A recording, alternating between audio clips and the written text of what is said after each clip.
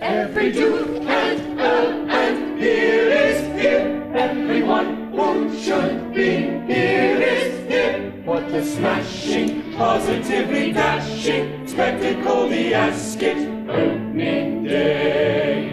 At the gate are all the horses waiting for the cue to fly away. What a gripping, absolutely ripping moment at the Ascot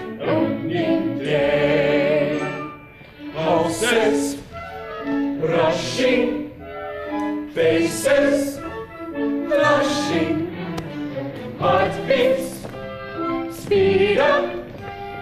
I have never been so keen up. Any second now,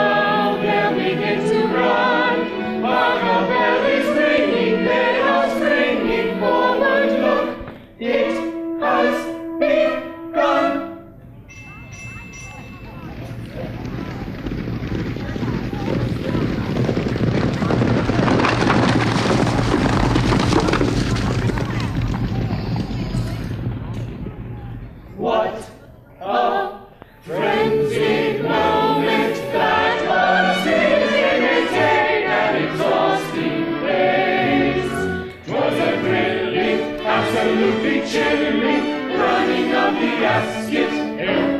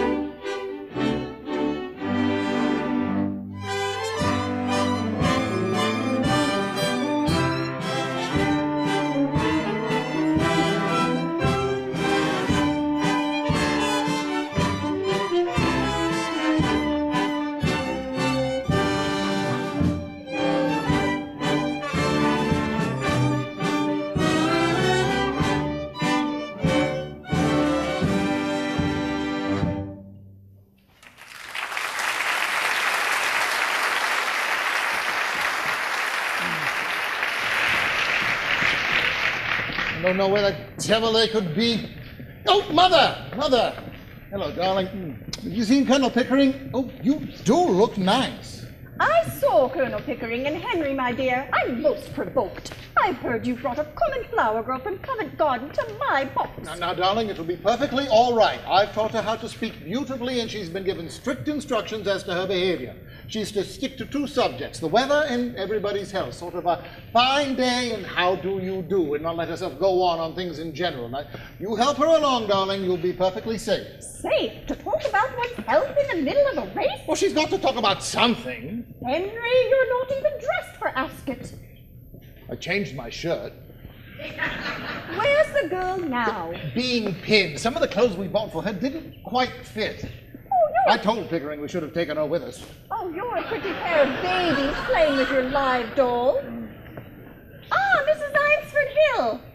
Oh, Mrs. Higgins. Oh, damn, are all these people here with you? Oh. Is this your celebrated son? I'm sorry to say that my celebrated son has no manners. He may be the life and soul of the Royal Society soirees, but he's rather trying on more commonplace Ah! occasions. There you are. Just in time for tea. Oh, thank you, Mrs. Higgins. Uh, may I introduce Miss Eliza Doolittle? Miss Doolittle. How kind of you to let me come. Delighted, my dear. Mrs. Eynsford Hill, Miss Doolittle. How do you do? How do you do? Lord and Lady Boxington, Miss Doolittle. How do you do? How do you do?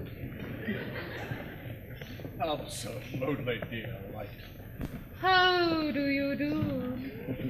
And Freddy Eynsford Hill. How do you do? How do you do?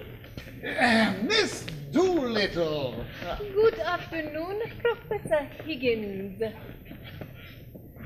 The first race was very exciting, Miss Doolittle. I'm so sorry you missed it. Will it rain, do you think?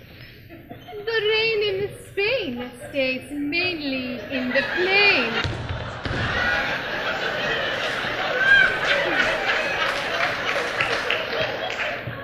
But in Hertford, Hereford, and Hampshire, hurricanes hardly ever happen.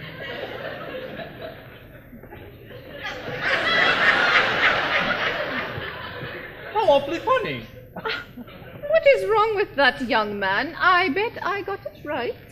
Smashing. Simply smashing. I do hope we don't have a spell of unseasonably cold weather. It brings on so much influenza, and our family's susceptible to it. My aunt died of influenza, so they say. But it's my belief they done the old woman in. Done her in? Yes, Lord love you. Why should she die of influenza when she come through diphtheria right enough the year before? Fairly blue with it she was. They all thought she was dead. But my father, he kept ladling gin down her throat.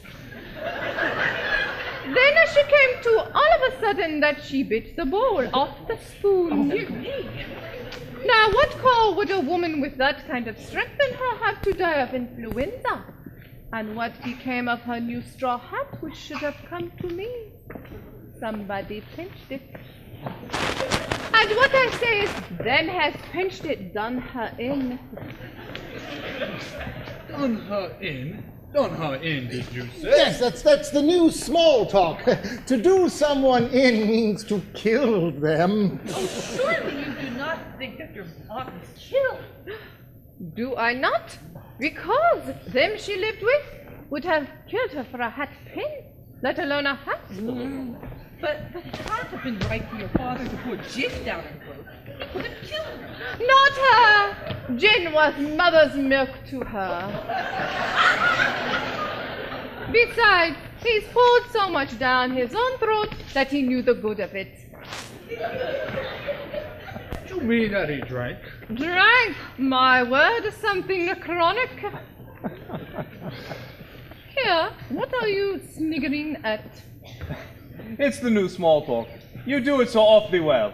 Well, if I was doing it so well, then what was you laughing at? Have I said anything I oughtn't? No, not at all, my dear. Well, that's a mercy, anyhow. What I say is, then. Perhaps there's time to place a bet on the next race. Uh, come on, my dear. No, let's Colonel get... Pickering, there's not. I, I have a bet on uh, number seven. I should be so happy if you would take it. You'll enjoy the race ever so much more. That's very kind of you. His name is Dover.